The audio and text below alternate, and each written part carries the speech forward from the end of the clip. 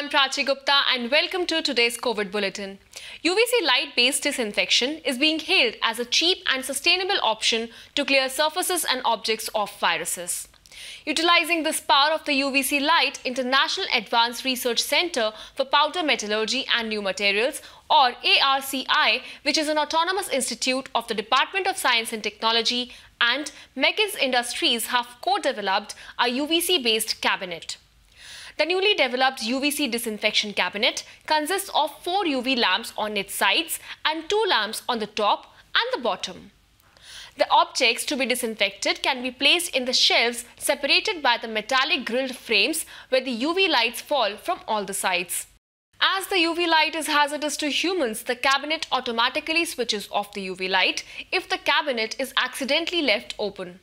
The partition frames in the cabinet are removable so that even bigger objects like lab coats, blazers, suits can also be disinfected. UVC light of 254 nanometers is strongly absorbed by the RNA part of COVID-19, which leads to structural damage and its inability to replicate further. Although various chemical disinfectants can inactivate the virus, their liquid nature can damage gadgets and their disposal after use remains a challenge. Therefore, the UVC-based devices are currently the most promising way to disinfect items. The UVC cabinet can be used in offices, academic institutes, hotels, restaurants, etc. to disinfect mobile phones, wallets, laptops, paper and so on. In hospitals especially, such cabinets can help in safe disposal of virus-laden waste such as gloves, masks and other items. Let's hear more on this from Mayank Agrawal, CEO Mekins Industries Limited, Hyderabad, and Dr. Tata Narasinga Rao, Associate Director, International Advanced Research Center for Powder Metallurgy and New Materials, ARCI, Hyderabad.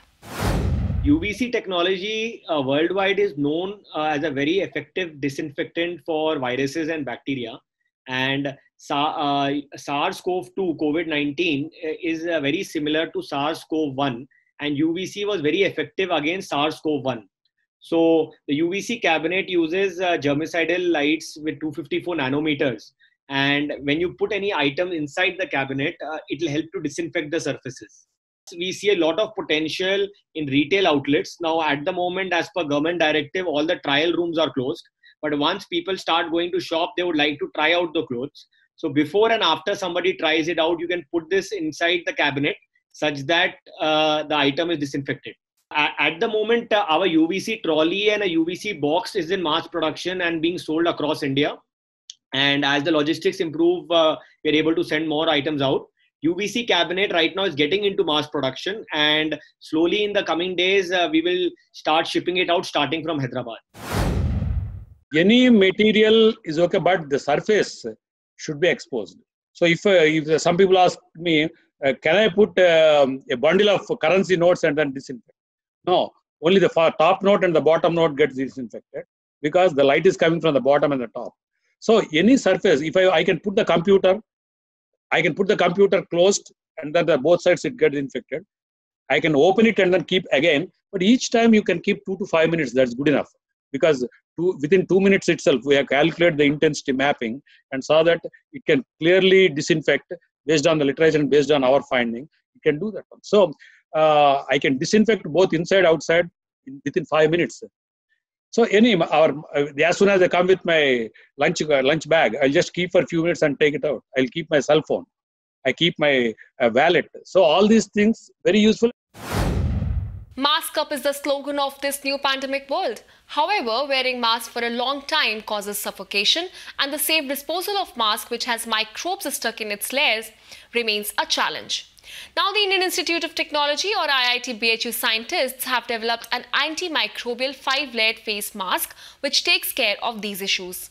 The masks that are currently available in the market have filters to stop the microbes, but they do not kill the microbes.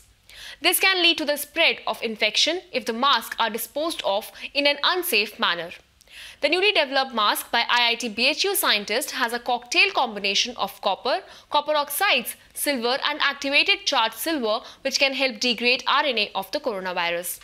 In this five-layered mask, the first layer degrades the RNA, the second layer is antimicrobial, the third layer is for air filtration and the fourth and the fifth layers ensure breathing comfort. Additionally, the mask also has a hydrophobic surface on the outer layer to deflect water droplets containing the viruses. Effective masks are important to keep the virus at bay till a certain drug or vaccine is available. This newly developed five-layered mask will serve the same purpose. Let's hear what Dr. Marshal, Associate Professor, School of Biomedical Engineering, IIT BHU, has to say on this. This mask is specifically designed to prevent secondary infections and particularly if the people are directly you know dealing with the covid-19 patient so we recommend that it should not be reused. Because the purpose is that uh, it is degrading. So if any virus is coming and then uh, uh, uh we advise not to reuse as a antimicrobial or uh, rna degradation mask kind of thing. But as a normal mask of course you can wash it and you can reuse it DBT Wellcome Trust India Alliance and RTI International India have come together to set up a COVID-19 catalytic partnership to enable researchers to carry out transformative research for COVID-19 response and recovery in India.